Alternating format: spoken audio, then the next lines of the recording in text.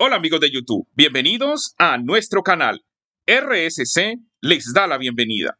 Hoy vamos a hablar acerca de nuestras memorias SD o USB cuando tienen bloqueo de escritura o tienen un problema para escribir y borrar nuestros archivos. Aquí les tengo un modelo, aquí tenemos una memoria SD tiene este archivo de nuestra empresa y yo quiero borrarlo. Noten de que no me aparece ni la cestica para borrarla, ni tampoco para crear un nuevo archivo. Está completamente bloqueado. Y si ustedes, si quiero mover de pronto un archivo hacia ella, noten lo que pasa. Me dice de que tiene protección contra escritura y que use otro disco. Lo que indica de que no está funcionando bien mi memoria SD. Lo tenía en otro dispositivo eh, no sé qué pasó y de repente tiene ese bloqueo. Pero hoy te, te vamos a enseñar cómo tú puedes recuperar tu memoria USB o SD para que vuelva a funcionar correctamente. Es muy sencillo. Vamos a utilizar algunas líneas de comando para poderlo lograr. Lo primero que vamos a hacer es ubicarnos aquí en la ventanita de Windows, clic derecho y donde dice terminal administrador.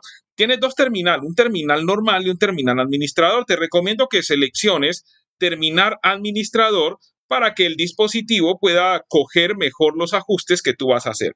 Ya cuando estés en la consola ya de programación, entonces vamos a comenzar a obtener ciertos códigos para entrar a la memoria en cuestión. El primer código que vas a escribir es este que está aquí, Dixpar. Entonces vas a escribir este código tal y como está ahí. Te lo voy a dejar un momentico para que lo puedas observar, Dixpar. Luego vas a dar Enter. Cuando des Enter, automáticamente te tiene que salir ahora en la línea de código dispar. En algunas ocasiones esto puede demorar un poco, no te desesperes, no pienses de que todo salió mal. Espérate que hasta, que aparezca esta palabra que dice dispar. Luego de que ya estés en dispar, es importantísimo ahora buscar las particiones o los discos en, en cuestión en este caso nuestra memoria USB. Entonces vas a escribir un, un comando muy sencillo y es lix así tal y como está ahí, de lista de discos. Vamos a, necesito que el computador ahora nos muestre la lista de discos para poderlo seleccionar. Le damos enter y aquí ya nos muestra la lista de discos. En este caso el computador tiene dos discos. Este que tiene este asterisco es el disco principal. Aquí me lo está seleccionando, me está diciendo, ojo, este es tu disco duro. No le hagas nada raro. Por ejemplo, este es de 476 gigas y la memoria es de este, 7388 megabytes. Esta es la que nos interesa, la memoria, así que es importante de que selecciones muy bien y sepas cuál es tu memoria a la hora de identificarla en esta parte de la lista de discos.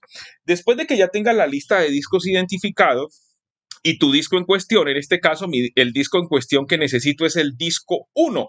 Entonces, ¿qué voy a hacer? Es muy sencillo el paso que también viene ahora para que tú lo puedas tener bien presente. Entonces vas a darle aquí en esta parte, select, o sea, le vas a dar que seleccione, entonces, el disco en cuestión que es el 1. Voy a darle selección el disco 1. A ti te puede aparecer el disco 2 o el disco 3 de acuerdo a las unidades que tenga en tu computadora.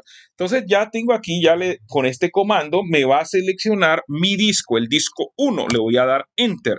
Ahora dice el disco 1 el disco 1 es ahora el disco seleccionado. Ya todo lo que trabajemos va a recaer sobre la memoria SD que tiene este problema en cuestión. Entonces, ya que estamos dentro del disco seleccionado, vamos a dar el comando el cual va a solucionar el problema. Es un comando muy sencillo, es muy sencillo. Aquí te lo voy a escribir, aquí te lo voy a, te lo voy a escribir muy despacio para que tú lo puedas ver. Entonces ahí esa palabra, nótala bien, escríbela bien para que tú, para que todo te pueda salir bien en el procedimiento. Entonces, mírala bien. Attributes. Y luego, entonces vas a darle la orden de que es del disco, los atributos del disco, que los borre. O sea, le estamos dando la orden de que borre esos atributos del disco con relación con relación a lo que tiene que ver con la escritura. Entonces ahí ya tenemos el comando y sencillamente debes darle enter.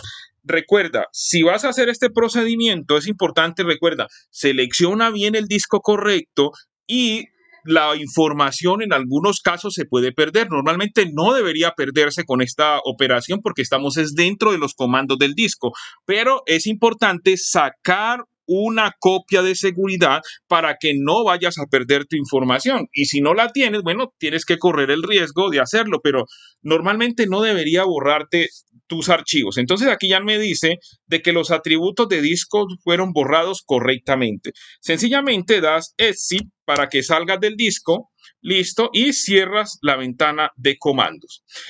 Entonces ya aquí voy a cerrar la ventana de comandos. Aquí está mi SD. Sencillamente lo que tienen que hacer ahora es desconecten la memoria SD. Desconectenla completamente y la vuelven a conectar otra vez a la computadora. La desconectan y la vuelven a conectar. Y aquí la volví a conectar. Y noten lo que va a pasar. Lo que no sucedía antes ya sucede. Miren, ya puedo borrar, modificar, crear, hasta crear nuevos archivos en mi aquí en, en, esta memoria SD nuestra. Ya puedo hasta crear una nueva carpeta. No hay ningún problema.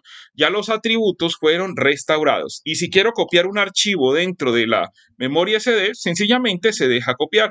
Y de esa manera solucionas ese problema. No lo olvides. RSC te ayuda para que lo hagas tú mismo en casa. No olvides suscribirte a nuestro canal, dar manito arriba y compartir este video con amigos y familiares. RSC.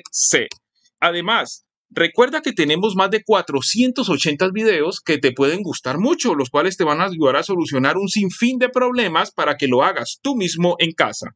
RSC.